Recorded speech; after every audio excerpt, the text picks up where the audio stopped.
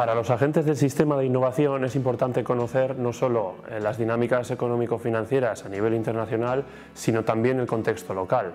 Y en ese sentido, hoy tenemos con nosotros a Guillermo Dorronsoro, que en esta Expert Training Session de hoy nos va a explicar un poco lo que es el concierto económico.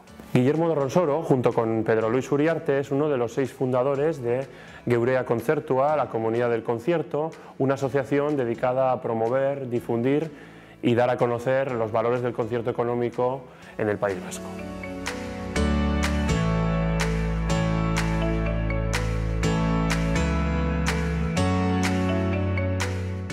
Bueno, yo creo que en general eh, todas las personas eh, del País Vasco tienen un interés muy singular en entender cómo es el sistema fiscal que tenemos, que nos permite, entre otras cosas, financiar las políticas de innovación.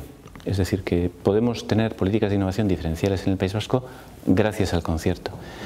Eh, el entender, aunque dices, bueno, pues esto realmente luego en la empresa eh, no, tiene un impacto directo, pero sí tiene un impacto directo el conocer eh, cuáles son los mecanismos por los cuales podemos financiar toda la parte pública de la I I. Y el concierto es ese instrumento.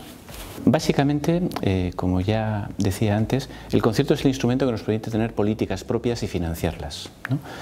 Eh, es un instrumento diferencial que, por ejemplo, ha permitido que en el País Vasco eh, ahora seamos líderes en inversión en I+.D. en España y estemos ya convergiendo con los niveles medios de Europa. Claro, si no hubiéramos tenido el concierto no hubiéramos podido hacer esta inversión. Entonces, el entender cuáles son las raíces y cuáles son los mecanismos por los cuales el concierto nos permite eh, hacer estas políticas y las industriales son el motivo de que esta charla sea interesante.